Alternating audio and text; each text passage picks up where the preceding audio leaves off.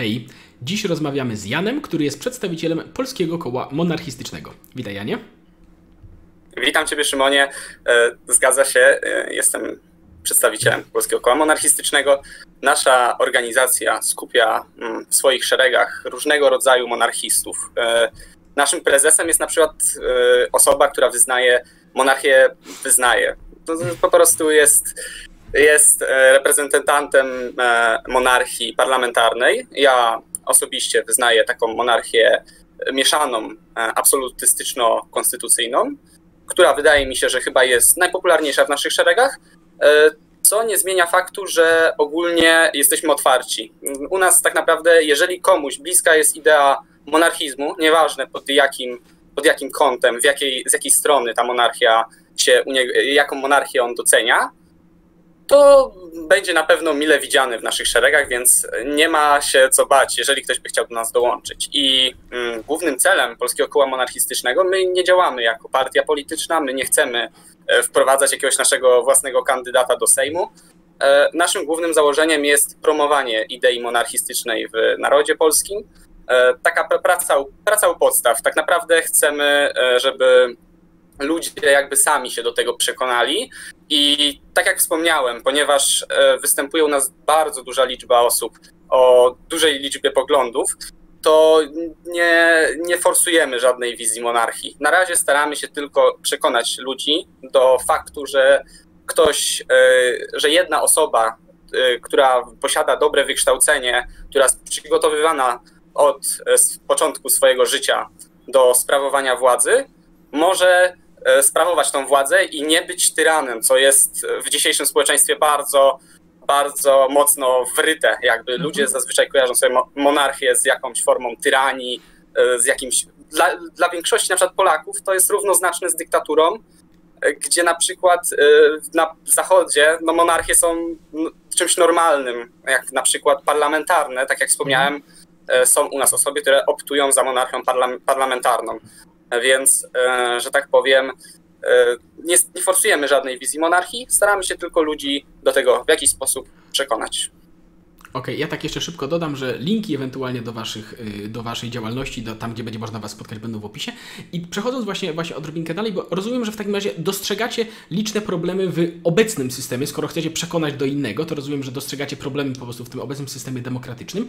I tutaj chciałbym właśnie zacząć też bardziej od tego, co waszym zdaniem w demokracji nie działa i jak powrót do władzy królewskiej mogły, mógłby te, te problemy rozwiązać. Okej, okay. Mm, czyli przede wszystkim e, to chyba co praktycznie każdy się zgadza w naszych szeregach, nieważne właśnie jaką monarchię wyznaje, to przede wszystkim populizm. To przede mhm. wszystkim populizm oraz fakt, że tak naprawdę głosy można sobie po prostu kupić, że demokracja wielokrotnie przegrywa z obietnicami, które tak naprawdę nie są de facto dobre. I chyba nie będzie tu nic niesamowitego, jak powiem, że program 500 Plus na przykład to nie jest program, który tak naprawdę zwiększył dzietność. To jest program, który tak naprawdę posłużył do kupienia głosów. I yy, to jest przede wszystkim podstawowa wada, jaką wskazujemy, czyli ten populizm. E, oraz bardzo ważny jest dla nas fakt kadencyjności, że władza jest zmienna, ponieważ tak naprawdę władza wtedy się skupia tylko na czterech latach. Ta polityka nie jest długoterminowa. Oni wiedzą, że za cztery lata może się stać wszystko. Mogą wygrać, mogą przegrać, może stać się koniec świata i dlatego nie skupiają się na dalszej perspektywie. Nie, nie widzą tego, co ta polityka może długofalowo sprawić. Więc e, tak naprawdę to są takie dwa główne powody i dostrzegamy właśnie, że monarchia, przede wszystkim e, ta bardziej bardziej absolutna, tak, gdzie władza znajduje się bardziej w dłoni jednej osoby, bardziej e, przeciwdziała populizmowi, e, zaś monarchia, nieważne w jakiej formie, także ta parlamentarna, e, przeciwdziała temu drugiemu, czyli właśnie władzy od wyborów do wyborów, gdzie tak naprawdę, tak jak mówię, nie skupiają się na, na tym, co będzie dalej z państwem, tylko rządzimy przez 4 lata, przez 4 lata sobie zarobimy jak najwięcej, te, to, co się już jest wręcz, to jest wręcz dla wszystkich Polaków wryte, dla nich zrozumiałe, że politycy kradną. Już nieważne kogo się spytamy, nieważne się kogo spytamy, to, to, właśnie to nawet nie chodzi o Polskę, to już nawet nie chodzi o Polskę, nieważne gdzie się spytamy, to zawsze, zawsze politycy są e, jako przedstawiani jako złodzieje, a podatki jako kradzież. To znaczy podatki w za dużej ilości tak są kradzieżą, ale jeżeli chcemy funkcjonować w państwie, w którym mamy zapewnione na przykład tak, taką podstawową rzecz jak wojsko albo sądownictwo, to one nie są kradzieżą, tylko one są tak naprawdę pewną formą wymiany. My dajemy mhm. pieniądze i w zamian otrzymujemy wojsko, sądownictwo, policję. Jasne. Chyba, że znajdzie się anar- Chyba, że znajdzie się anarchokapitalista. No, tak, ale tutaj, tutaj, tutaj mimo, wszystko, mimo wszystko ich nie ma, mam wrażenie. Także wiesz co, tak jeszcze zanim, zanim zacznę pytać o szczegóły y, Twoich rozwiązań proponowanych tutaj przez Ciebie, y, to chciałem zapytać, czy te problemy o demokracji, bo tak, oczywiście te problemy demokracji, które wskazałeś, no chyba wszyscy się zgadzają, że to są problemy demokracji, tylko chciałem dopytać, czy to jest problem Twoim zdaniem y, współczesnej, zdegenerowanej demokracji, czy demokracji ogólnie, że zawsze te problemy były, czy teraz jest jakoś gorzej? Nie, to nie są problemy współczesnej demokracji. Mhm. E, te, tak naprawdę one są od zarania dziejów. Najlepszym przykładem tego jest na przykład wojna peloponeska, która odbywała się w starożytności. No, I już, okay. już, okay, już tam rozumiem. mieliśmy przykłady populizmu. Dobra, więc, więc przechodząc do tego, do, przy, w tej konkretnie Twojej wersji monarchizmu, y, jak, jakie rozwiązania Y, w, jak, w jakie byłyby to rozwiązania w praktyce i jak przeciwdziałałyby one y, tego typu problemu, czy jak rozwiązywałyby problemy, które dziś y, zaspokaja w jakiś sposób demokracja ogólnie? Czyli tak jak wspomniałem, e, ja wyznaję, tak, e, wyznaję jestem zwolennikiem takiej specyficznej monarchii. To jest e, połączenie absolutnej, gdzie władza jest w rękach jednej osoby, oraz monarchii konstytucyjnej, gdzie monarcha jest ograniczany przez konstytucję. Gdybyśmy mieli spojrzeć na to z formal, takiego stricte formalnego, e, stricte formalnego patrzenia, perspektywy, ze stricte formalnej, e, to tak naprawdę to jest monarchia konstytucyjna. Jednak no tak, tak, tylko ta konstytucja nadawałaby większość władzy e, okay. królowi.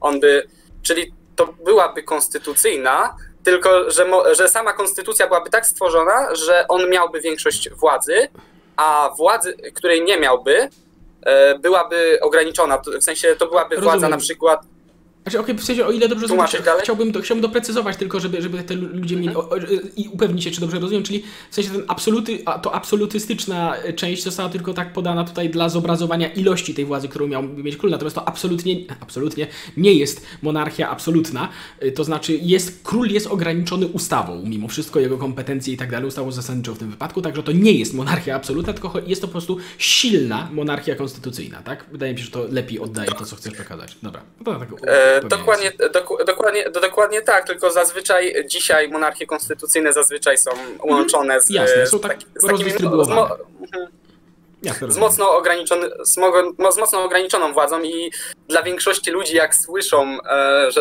ile bym e, tak naprawdę władzy chciał dać królowi, e, to uważają, że to nie jest monarchia konstytucyjna, tylko już właśnie bardziej podchodzi pod absolutną. No tak, I, ale to jest chyba formalnie niepoprawne. Nie będę... Mhm. No, można się nad tym, e, no, no, no, można się nad tym rozwodzi, rozwodzić, ale dla, tak jak mówię, dla zwykłego zjadacza chleba to on powiedziałby, że to jest absolutna, a dla osoby, która jednak się orientuje mniej więcej, coś wie, coś kojarzy, to ona powie, że to jest konstytucyjna, więc trzeba, wydaje mi się, że to jest taka forma, która najlepiej godzi mhm. obie strony. Okej, okay, czyli o ile dobrze rozumiem, jest to po prostu Czyli to wszystko jest tak naprawdę y, sposobem na maksymalne ograniczenie aparatu państwowego, ale przy zachowaniu struktur ograniczających władzę y, jej poszczególnych organów właśnie poprzez konstytucję, tak? Ale czy w czymś takim na przykład w ogóle mhm. istnieje, rozumiem, że nie ma czegoś takiego jak trójpodział władzy? Hmm, znaczy sądownictwo na przykład no. nie może być nie może być w 100% e, podległe królowi. Sądownictwo no. ma działać wobec prawa. Ono, ono ma te prawo e, ma sądzić, nie tak jak król myśli, nie tak jak podaje Netflix, mhm. tylko, e, tak jak, e, tylko tak jak jest zapisane w połowie prawa, tak jak, tak jak prawo mówi. Okej, okay, czyli rozumiem, że jednak miałoby to wyglądać, mielibyśmy mieć zachowany trójpodział władzy, więc w, w, takiej sytuacji, że gdyby na przykład król nie stosował się do konstytucji, to by istniały narzędzia, które miałyby go Yy, możliwość usunięcia nawet przy, przykładowo, tak? Okej, okay, wiesz co, ja, ja, ja, nie jestem specjalistą od prawa i od tego typu rzeczy, ale to wszystko brzmi jak maksymalne uproszczenie aparatu państwowego, natomiast y, wiesz co, to jest, to jest wiesz co, być może tutaj y, lepszym jak słowem byłoby coś na zasadzie neomonarchizmu albo czegoś takiego, wiesz co, nie wiem, wymyślam to w tym momencie, ponieważ tak jak to opisujesz, w sensie to, to nie jest krytyka, tak, tylko zauważam, że jest to bardzo silnie jednak oderwane od tego, jak rozumiane było to nie tylko w przeszłości, ale też jak rozumiane było to, jak rozumiane jest to dzisiaj w, y, w, innych, w innych monarchiach, które nawet istnieją, nawet choćby w sposób ceremonialny. Więc i na przykład nie wiem, nie wiem, czy w Wielkiej Brytanii istnieje funkcja postawienia królowej czy króla przed sądem y, w, w, w kwestii tego, jak wypełniają swoje obowiązki y, wobec państwa. I... E Mhm. To zazwyczaj, znaczy, tak jak wspomniałeś, że to się trochę nie, nie, nie godzi się z tymi poprzednimi okay. czasami, można okay, rozumiem, tak powiedzieć. To jest jakaś nowa wersja tego po prostu, tak? To nie jest, to jest nie tyle powrót e... do, starszego, do starego rozumienia tego, tylko jakaś, o, o ile dobrze rozumiem, tak, że jest to nowe podejście do tego, do tego tematu, tak? Nie, nie określiłbym, że to jest nowe podejście, bo to by brzmiało, że to, to nie była prawdziwa monarchia. Nie, a... nie, nie o to chodzi. Ja rozumiem, że w sensie, no, to, to, nie chodzi o to, że to nie była prawdziwa monarchia, tylko z tego, co rozumiem, proponujecie po prostu zaktualizowaną wersję tego, dostosowaną, nie wiem, czy do czasów, czy do rozwiązań, czy do, czy do, czy do czegoś. Natomiast, może inaczej, czy jesteś w stanie wskazać w historii yy, yy, przykład podobnego ustroju, do którego, który chcecie wprowadzić? E, w sensie ja konkretnie? Tak, tak, ty konkretnie, tak, tak, ty konkretnie, tak, tak, tak. tak. E, tak naprawdę e, to mocno zależy, e, ale wydaje mi się, że najbardziej to by było podobne do monarchii francuskiej, tej po napoleońskiej jeszcze, tam już po restauracji Bourbonów, mhm. gdzie, bo, bo właśnie wspomniałeś o średniowieczu, o tych wszystkich innych epokach i często ludzie właśnie sobie łączą monarchię ze średniowieczem, a ono je, średniowiecze, znaczy ten, monarchia istniała też w świecie w świecie współczesnym. Mhm. Obecnie, obecnie mamy monarchię. Mieliśmy przed pierwszą wojną światową, przed mhm. drugą. I e, bardzo ważna kwestia, że wspomniałeś, e, że to by się kłóciło z tymi poprzednimi, jakby z poprzednimi, tymi, które były monarchiami. Mhm. I pragnę zauważyć, że organizacja państwa średniowiecznego była mhm. zupełnie in, inna niż organizacja państwa współczesnego i to niekoniecznie wynikało z faktu, że to była monarchia, mhm, bo, bo na, na przykład mieli ograniczone zdolności. To nie było tak, mhm. że teraz mógł, mógł, sobie, mógł sobie urzędnik zadzwonić tam do swojego przełożonego i mu zdać raport. Obywatele sami, sami podatków na przykład nie płacili. Przychodził poborca mhm. podatkowy i od każdego zbierał te podatki, więc tak naprawdę organizacja państwa się zmieniła diametralnie Oczywiście. od tamtych czasów i nie, i niezależnie czy chodzi o republikę, o monarchię, o teokrację, y, tak naprawdę zmieniło się samo państwo mhm. i to na, na, na, sposób, na jaki patrzymy. Trójpodział władzy jest, y, wymysł, y, jest nowym wynalazkiem, który jest wynalazkiem skutecznym. Tutaj nie można powiedzieć, że to jest jakiś wymysł, że, że to jest kompletnie nieprzydatne. No, jak pokazała historia, jednak trójpodział władzy się przydaje, ale zazwyczaj trójpodział władzy przyjmuje formę że główną jakby, główna część władzy leży e, u przedstawicieli obywateli, czyli mhm. na przykład wybieranych, wybieranych demokratycznie e, posłach, prezydencie. Tak to, tak to zazwyczaj wygląda. I u mnie ten trójpodział władzy zmieniłby się w taki sposób, że władza e, ustawodawcza byłaby zamieniona po prostu na władzę monarszą. To, mhm. byłby król, który on, on by, on był ustal... No, rozumiem, no, wiadomo, myślę, że, myślę, że wiesz, że wiadomo. Okej, okay, dobra. I tutaj, y, bo też w twoim tekście, który podesłałeś mi, żebym sobie przejrzał też przed, przed naszą rozmową, y, mówiłeś, że król aby w ogóle zaistniał, musi być z woli narodu, prawda? W sensie musi być poparcie narodu, żeby mógł, żeby mógł w ogóle zacząć funkcjonować w takim stanowisku. I też ma, i to, to, to rodzi moje pytanie, kto w takim ustroju, znaczy szereg pytań, ale zacznijmy od tego, kto w takim ustroju jest suwerenem właściwie? Okej, okay, bo mm, wie, tak, zacznijmy od tego tekstu. Mhm. się do niego odwołam, bo e, podesłałem ci go i w tym tekście był dużo, tam było naprawdę dużo i tam nawet podawałem właśnie dojście do władzy i prawdopodobnie mhm. e, i prawdopodobnie chodzi ci właśnie o to, mhm. bo tam pada słowo, że on ma być z, wody, z woli narodu.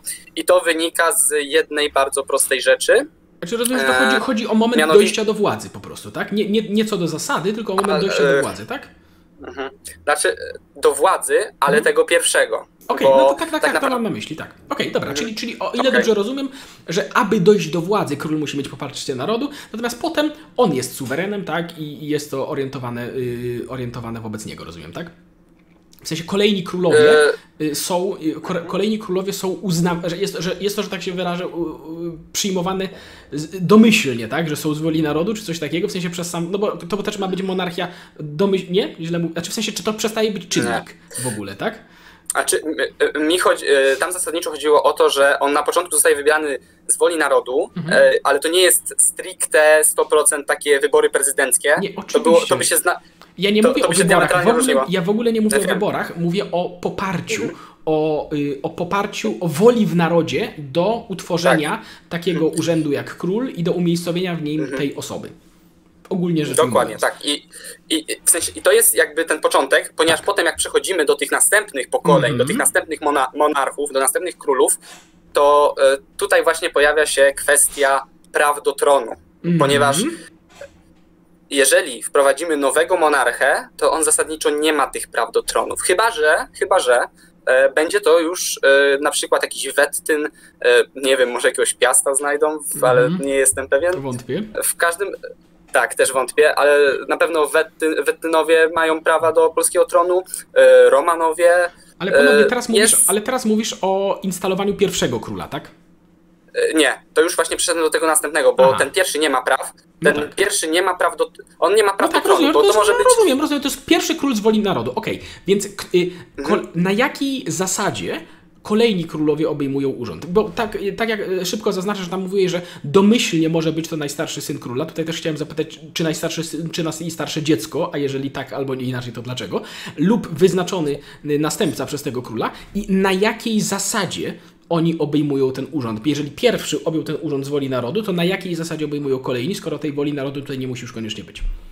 Okej, a więc tak, bo to też to samo stwierdzenie z woli narodu e, wywodzi się w ogóle z, z tytulatury królewskiej i tego, jak byli e, tytułowani. Nad- Nadawano im te tytuły i byli przedsta- przedstawiani. I mówiono właśnie z Bożej łaski i dopiero potem z woli narodu. I tutaj co, czym, o co chodziło w tej Bożej łasce? E, Wynikało to z prawa sukcesyjnego, czyli wcześniej obowiązywa, e, wtedy w, średniowiecznej, w renesansowej monarchii obowiązywało coś takiego, e, że najstarszy syn przejmował e, władzę w, pań, w państwie. To się potem zmieniało. Potem zmieniano to, to, te prawo, ale takie było początkowo prawo i ono wynikało historycznie, uzas- uzasadnienie było takie, że e, oni nie wiedzieli, bo nie, kiedy, póki tego prawa nie było, to po śmierci króla był chaos i nie, No nie było za bardzo wiadomo, nie było wiadomo, kto ma objąć władzę w państwie, więc wymyślono taką uczciwą, sprawiedliwą e, dla jego, jego dzieci e, metodę wyboru następcy, jakim było po prostu to, że kto jest najstarszy, najdłużej żyje, najwięcej zna życia i tak dalej, przejmuje tą władzę. I e, uważano też, jakby da, budowano pod to też taką e, retorykę, że e, właśnie Bóg sam zsyła tego następcę, że on jakby sprawia, że on się rodzi pierwszy, że gdyby Bóg tam chciał kogoś innego, to on by, to takie, taka dobudowa do tego, to była taka dobudowa, bo oni, stri, oni, Któr- oni wiedzieli, chyba nikt nie tak- brał szczególnie na poważnie, bo tych ludzi się przecież usuwało, Mm. jak się nie nadawali i tak dalej, więc... więc, Tak, więc... tak. Tak, ale tak jak wiesz, e, zasadniczo monarchowie bardzo byli ściśle związani z religią chrześcijańską Mhm. i e, oni byli koronowani przez papieża, oni e, wiele rzeczy działali z kościołem, razem z kościołem, ramię w ramię. Nie zawsze to się dobrze dla kościoła mm, powodziło. Sojusz trona z ołtarzem zawsze wychodzi gorzej dla ołtarza. Tak? Ale, ale tak jak mówię, była do tego jak dobudowa jakby religijna, bo zasada była taka, że po prostu ten, który najdłużej, najwięcej zna życia, najdłużej żyje, przejmuje władzę. E, I dobudowano po prostu, że on jest właśnie z, Bożej łaski, że Bóg, go zesłał. I teraz właśnie przejdziemy do tego, bo to jest jako e, wyznacznik tego prawa, bo jako tym wyznacznikiem prawa było to, że on się urodził pierwszy, czyli właśnie został, został z Bożej łaski. I jakby drugą, drugą, drugim elementem świadczącym jakby o jego e, dojściu do władzy było, że był z, z woli narodu, tylko za bardzo prawa obywatelskie w, śred, w głębokim średniowieczu czy starożytności, to nie, to, nie było, to nie były takie prawa obywatelskie rozumiane jak dzisiaj. I najczęściej po prostu naród był wiązany z, aryst- z tamtejszą arystokracją. Mhm. Więc no. Naród ten, rozumiano na, kompletnie inaczej naród, niż dzisiaj, jasne.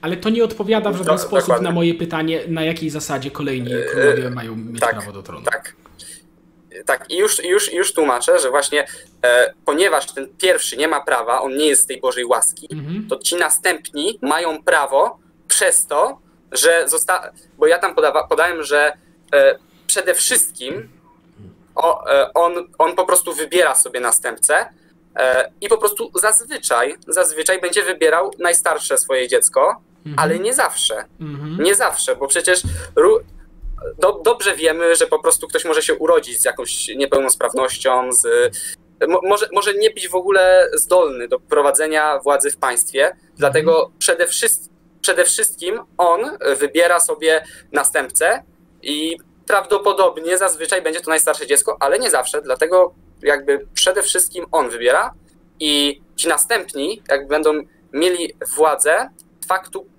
z tego faktu prawa, czyli oni już nie będą aż, nie, nie będą mieli tak mocnego, tak mocnej woli narodu, jak, e, jak ten pierwszy, bo ten pierwszy musiał zdobyć e, tą wolę narodu, te, te jego poparcie, żeby dojść do mhm. tej władzy, a ci następni z kolei nie, nie muszą mieć aż tak dobrego. Jednak, tak jak wspomniałem, e, konstytucja powinna ograniczać monarchę w taki sposób, że nie może doprowadzić do takiego momentu, kiedy wszyscy go nienawidzą, co wynika, co jest po prostu logiczne, bo wtedy go obalą. On po prostu też, on też musi dbać o swój wizerunek i to jest bardzo dobrze widoczne w monarchiach, takich stricte na przykład parlamentarnych, gdzie jak się prowadzi różnego rodzaju referendum, czy kompletnie się nie pozbyć monarchy, bo tylko tam żeruje na nas i oznacza ten, e, ten dawny system, który był opresyjny, to zazwyczaj monarchowie wygrywają i to znacznie. W Wielkiej Brytanii to chyba było 87%, zaś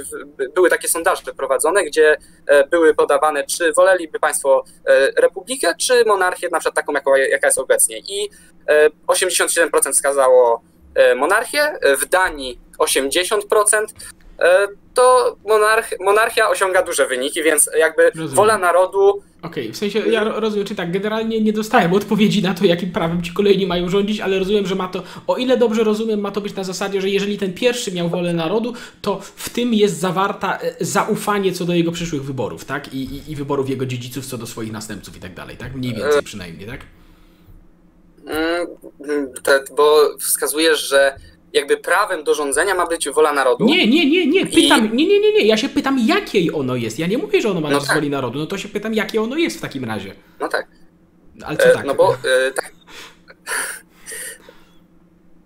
Chodzi o to, że pierwszy ma wolę narodu jako no tak. prawo do, do rządzenia, następni jako prawo do rządzenia mają e, fakt bycia wskazanym na następcę. Okay, no to dokładnie to, co powiedziałem przed chwilą. Okej, okay, rozumiem. No, no to, dobra, w porządku. Okay, okay, zrozumieliśmy się. Dobra. dobra. I tutaj, moje jest, tutaj jest moje pytanie.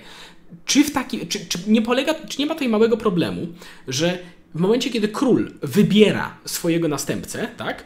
I tak jak mówiłeś, często będzie to najstarsze dziecko, ale niekoniecznie, prawda? Ponieważ dziecko może się niekoniecznie nadawać na, na, na, na władzę, prawda? Czy w takiej sytuacji król nie ma bardzo silnego konfliktu interesów? Żeby jednak wybrać e. swoje dziecko, nawet jeśli ono się nie nadaje. Ale mm, jakby nie jest powiedziane, że król jest ograniczony, żeby mieć tylko jedno dziecko. Wiadomo, wiesz co, może mieć szereg tych dzieci. No, myślę, żeby miał. Ja, o, no tak. To w sensie, ale w sytuacji, gdy y, bo, bo, bo ufamy, że, że osoba kompetentna, taka jak król, będzie wybierała właściwych następców, prawda? Bo jest osobą kompetentną i tak, tak. dalej. Tylko, że zauważam, że jeśli domyślnie ma być to dziecko, to czyn, pytam, czy nie rodzi, a raczej zauważam, że rodzi to bardzo silny konflikt interesów u władcy, prawda? Ponieważ obok mhm. y, interesu chciałbym, żeby kompetentna osoba rządziła krajem, bo zakładamy, że król ma taki interes, no to jest obok interes dodatkowy, no chciałbym, żeby tym krajem rządziło moje dziecko, no bo ludzie mają takie podejście do swoich dzieci, że patrzą na nie też czasem często dużo bardziej przychylnie, dużo bardziej widzą je w lepszym świetle niż one naprawdę są i tak dalej, i tak dalej. I czy, ten, czy to nie jest pewien problem, że w momencie, kiedy król wybiera sobie następcę, to ma bardzo silny konflikt interesów z, ze stronniczością do swoich dzieci, co niekoniecznie musi iść wraz z kompetencjami. Okej, okay. w sensie tak jak wspomniałem, to jest wybór kogoś Mhm. innego niż dziecko.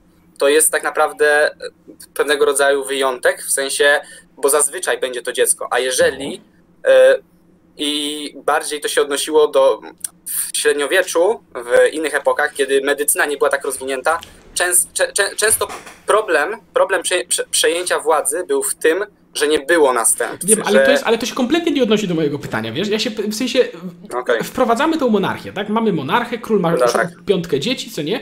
I czy w tym momencie, czy to nie jest problem po prostu tego proponowanego rozwiązania, że w momencie, kiedy domyślnym dziedzicem ma być dziecko, to król tak naprawdę nie ma czegoś takiego, że faktycznie patrzy, kto tu byłby najbardziej kompetentną osobą, tylko domyślnie jest skierowany do tego swojego dziecka. Ja nie mówię, że to dziecko będzie niekompetentne, bo jeżeli będzie uczone od samego, yy, od samego dzieciństwa do tego, jak być dobrym władcą, to myślę, że w większości ogromnej przypadków będzie kompetentne. Tylko pytam, czy taka sytuacja nie rodzi konfliktu interesów w momencie, gdyby się jednak zdarzyło, że te dzieci nie są kompetentne, bo może po prostu nie, ma, nie dostały predyspozycji, może po prostu y, coś poszło nie tak w tym ich kształceniu, czy nie byłoby tak, że taki król i tak miałby dość silny, silną stronniczość wobec swoich dzieci, co mogłoby się odbyć kosztem y, interesu powiedzmy narodowego?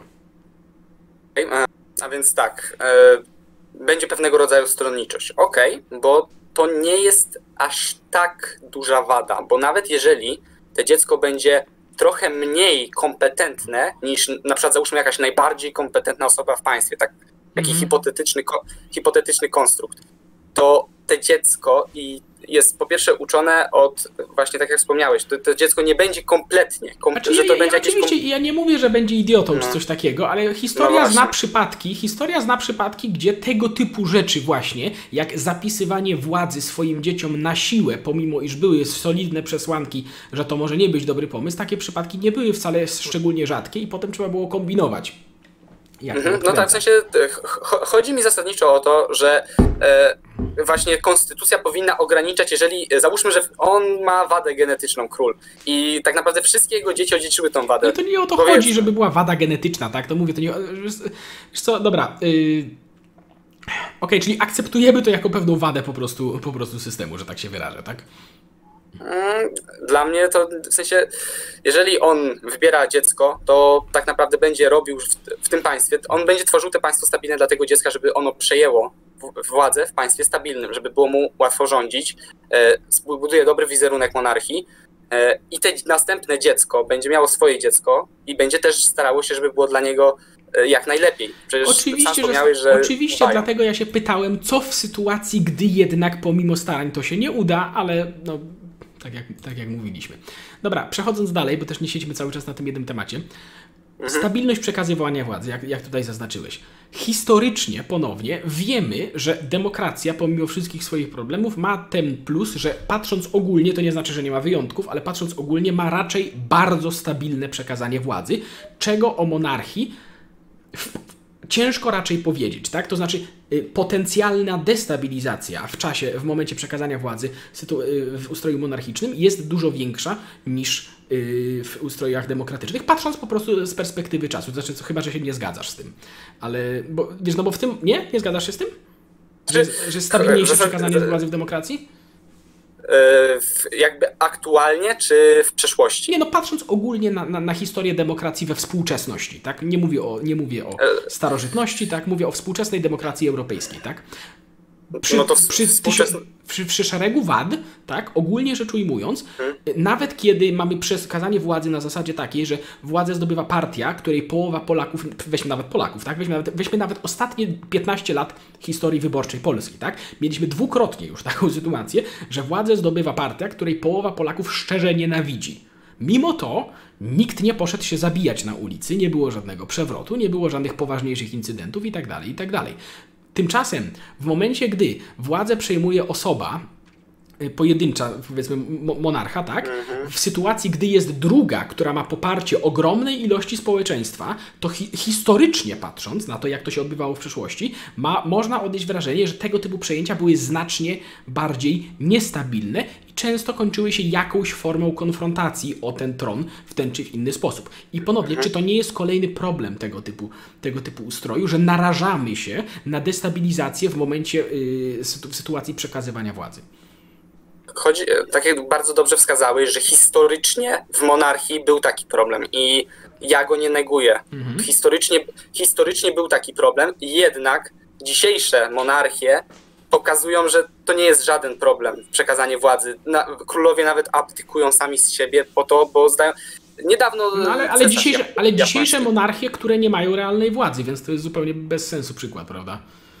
No ale jak nie mają realnej władzy? Są mona... Mamy w Europie, w Europie to tak naprawdę większą część władzy e, ma książę w Liechtensteinie. Mhm. E, w, na, świe... na świecie są e, na przykład Brunei, różnego państwa e, arabskie, e, afryk, afrykańskie, ale nie mamy jakichś doniesień, żeby się działy akurat, akurat w tych monarchiach, żeby akurat w monarchiach działy się wojny domowe. Wojny domowe. Akurat Afryka to nie jest najlepszy przykład, prawda? Bo tam akurat no, są, więc.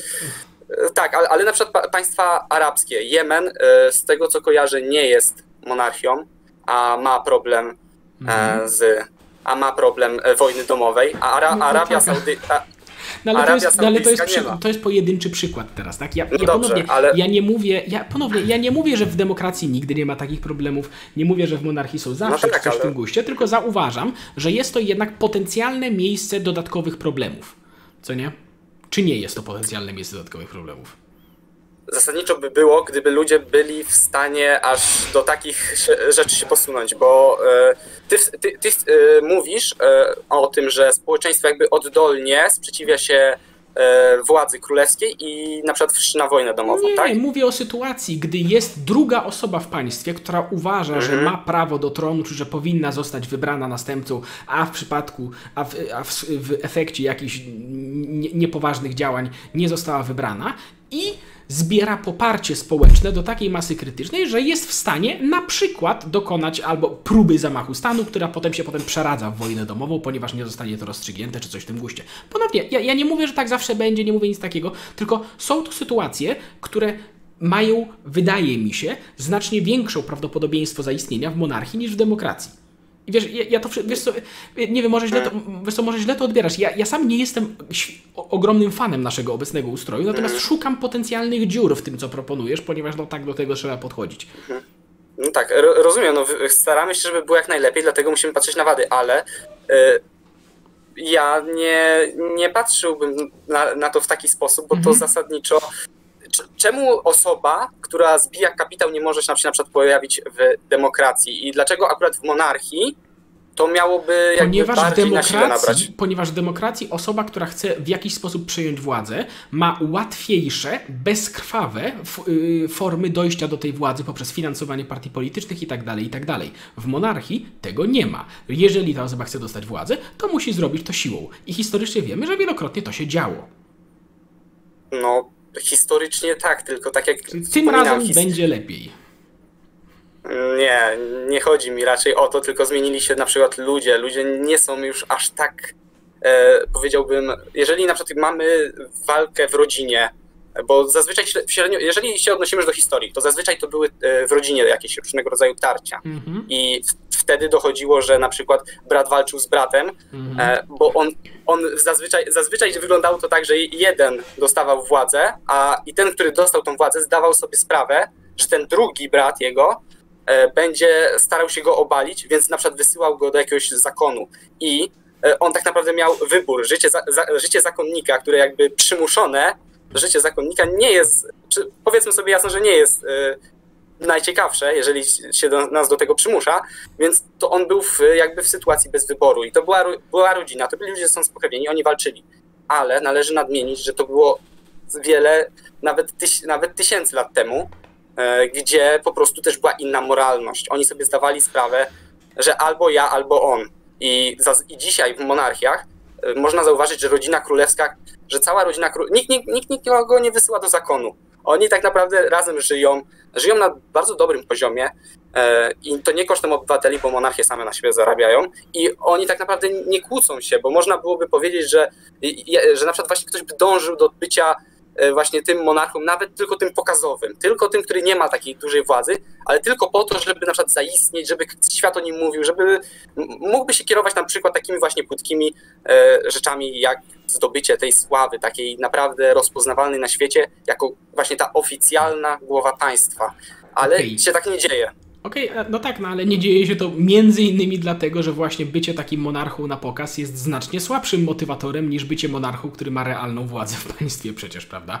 I to, że się to dzisiaj nie dzieje, wydaje mi się, może się mylę, ale wydaje mi się, że bierze się właśnie głównie z tego nie dlatego, że ludzie są jakoś szczególnie lepsi teraz, tylko dlatego, że ci monarchowie nie mają aż tak realnej władzy, więc po prostu nie ma o co walczyć. Dobra, przechodząc do kolejnej, do kolejnej kwestii. Y, tak jak wspominaliśmy wcześniej, w średniowieczu ta monarchia wyglądała zupełnie inaczej, choćby dlatego, że król miał znacznie słabsze narzędzia kontroli, prawda, nad, yy, nad państwem, więc to wszystko było siłą rzeczy znacznie bardziej rozdystrybuowane, prawda, po lokalnych władcach.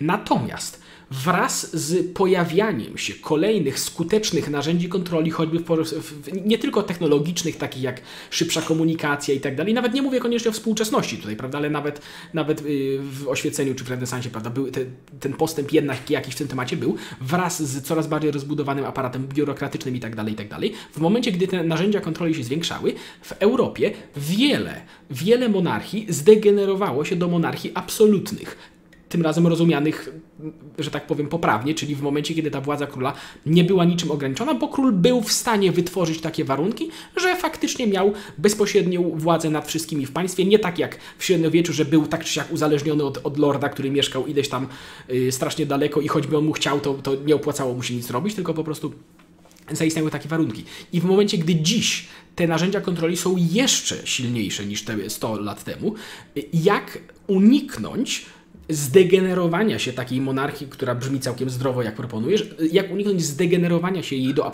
absolutyzmu w momencie, gdy wiemy, że to już się stało w sytuacji, gdy te narzędzia kontroli były jeszcze słabsze niż teraz.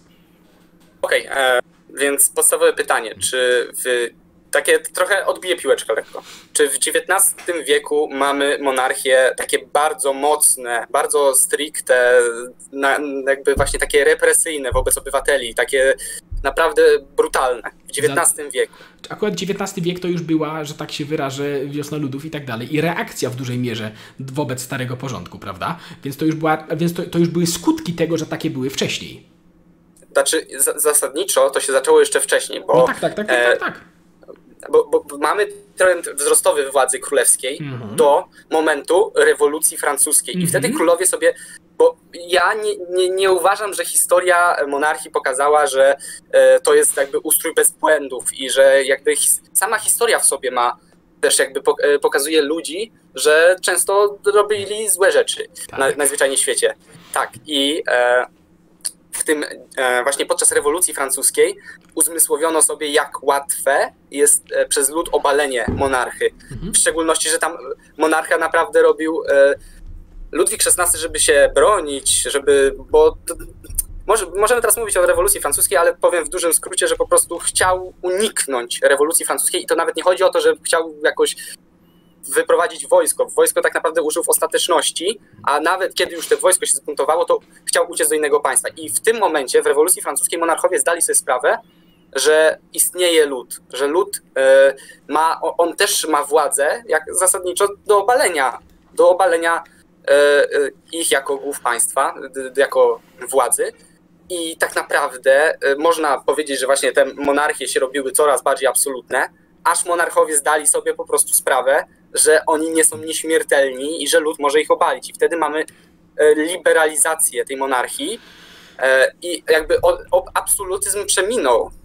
Nawet jeżeli teraz jakieś e, monarchie się ogłaszają monarchiami absolutnymi, to one nie są aż tak represyjne. Znaczy, też można Jasne. tutaj zaznaczyć Jasne, zaznaczyć represyjność Okej, okay, w sensie chodzi mi o to, że y, ta liberalizacja, tak jak to ująłeś tego, tego absolutyzmu, została, to nie tak, że monarchowie się zdecydowali na to, tylko zostało to na nich wymuszone, to jest jedna kwestia. Mhm. Druga kwestia, y, że, że nie będzie tak, bo się obawiają rozruchów, czy właśnie przewrotu, czy, że tak powiem, zbrojnego niezadowolenia ludzi. No myślę, że masz rację, ale tu dochodzimy dokładnie do tego, co mówiłem, że y, ten system jest mniej stabilny, tak?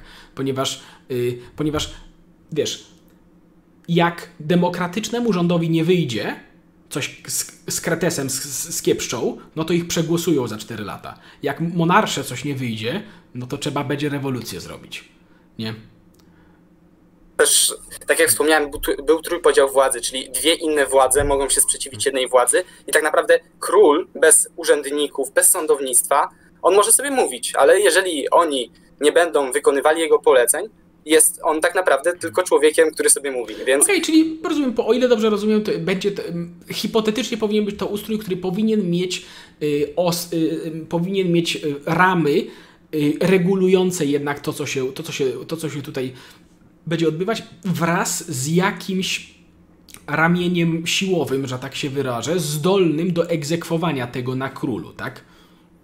Znaczy, tak jak e, mówię, że tak, powinno być e, też ramię siłowe, jak to wspomniałeś, e, ale nawet te ramię siłowe nie jest wymagane, bo jeżeli urzędnicy i sądownictwo przestanie wykonywać polecenia, zbuntuje się, bo będzie im na to pozwalało prawo, prawo powie jasno, możecie się zbuntować, to wtedy nawet nie trzeba używać siły, bo to jest, jed, to jest jedna osoba. O wiele łatwiej jest obalić jedną poszczególną osobę, jeżeli mielibyśmy obalać na przykład całą partię, która dojdzie do władzy. I dlatego na przykład e, dyktatury, które opierają się na partii w pewien sposób, są tak trudne do obalenia.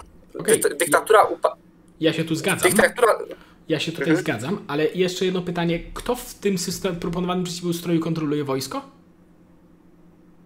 Wojsko powinno być e, jakby organem, może nie tyle co samozarządzającym, powinno być regulowane przez prawo, Tak. e, ale powinno to, ono powinno być Ale nie maksymalnie powinno ile. być podległe królowi, rozumiem, tak?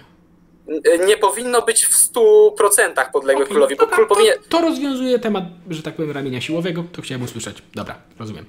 Ja myślę, że to też jest tak naprawdę dobry moment na zakończenie, także ja nie bardzo Ci dziękuję za, y, za rozmowę. Raz jeszcze, raz jeszcze przypominam, że linki do Waszej działalności i do Waszego koła będą w opisie. Jeżeli ktoś jest zainteresowany większą ilością informacji w tym temacie, to zapraszamy tam. I raz jeszcze dziękuję z mojej strony i jeżeli chcesz jeszcze coś, coś, coś na koniec powiedzieć, to zapraszam. Chciałbym podziękować za rozmowę, to na pewno. Jeżeli, tak jak wspomniałem na początku, czujesz się bliski z ideą monarchii w jakiejkolwiek formie, to zapraszamy do dołączenia do nas. E, I tak jeszcze na koniec, podsumowując tą rozmowę, to mogę trochę jakby to, to tak trochę zauważam, że dużo się nie, nawet nie, że nie zgadzaliśmy, co chyba nie, nie nadawaliśmy na tych samych falach i było dużo nieporozumień, wydaje mi się. Możliwe, możliwe, Wydaje mi się. możliwe. Ale to też o to chodzi, żeby, żeby te rzeczy rozjaśniać, także też zapraszam do komentowania, gdzie waszym zdaniem takie nieporozumienia były, czy ewentualnie z kim się tutaj zgadzacie, z kim się nie zgadzacie i dlaczego. No i to wszystko. Także z mojej strony jeszcze dziękuję i do usłyszenia. Hej. Dzięki za uwagę, a jeżeli jesteście zainteresowani dodatkowym fragmentem, w którym razem z Janem rozmawiamy o tym, że przywrócenie władzy królewskiej paradoksalnie mogłoby iść w parze z większą federalizacją i daniem większej autonomii lokalnym regionom co do decydowania o lokalnych problemach, to zapraszam na sp- specjalną grupę wyłącznie dla patronów, gdzie poza dodatkowymi fragmentami rozmów znajdziecie również streamy wyłącznie dla patronów oraz przedpremierowe informacje o nowych odcinkach. Do usłyszenia. Hej! Jeśli chcesz być informowany o kolejnych odcinkach, to kliknij dzwoneczek powiadomienia, żeby żadnego nie przegapić. A jeśli chciałbyś pomóc w tworzeniu takich filmów, to zapraszam do wsparcia nas na Patronajcie. Do usłyszenia.